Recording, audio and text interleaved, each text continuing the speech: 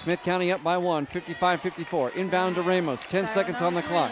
Looking for the last shot, obviously. Ramos No, no, no. over to. AG, four seconds left. AG to. Ramos, two seconds. Ramos puts up a shot, no good. Time runs out. Smith County wins. 55-54. The Owls have won the season finale in overtime over DeKalb County.